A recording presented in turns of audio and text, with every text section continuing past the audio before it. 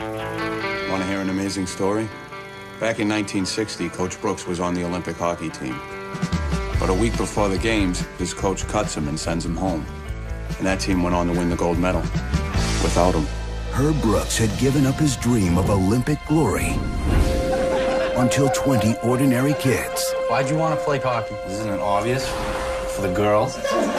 gave him a second chance. The Soviets win. My goal is to beat them at their own game. Beat the best team in the world. Gold medalists in 64, 68, 72, 76. Name?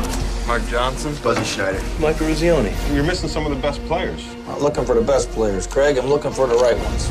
They were bitter rivals, A lot of guys from Minnesota and Boston. Yeah, that's gonna work. but one coach had a plan to turn them into a team. I got no time for quitters. You want me to play, huh? I want you to be a hockey player. I am a hockey player! Think that'll get them going? Oh, yeah. This winter, when you face the impossible, Russians' main weapon is intimidation. This guy's ever smile? The Russians, they get shot if they smile. and you refuse to give up, I didn't think it was gonna be this hard. Yeah, you did. We start becoming a team right now! miracles can happen.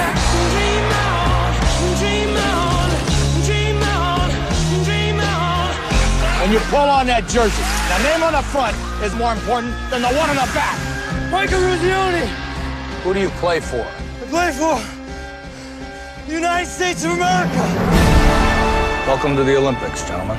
Walt Disney Pictures presents This is something that this country is ready for. Great moments are born from great opportunity. If we play them ten times, they might win nine, but not this game. on February 6th. Listen to them. We can beat these guys. Discover the story This is your time. behind the greatest moment in sports history.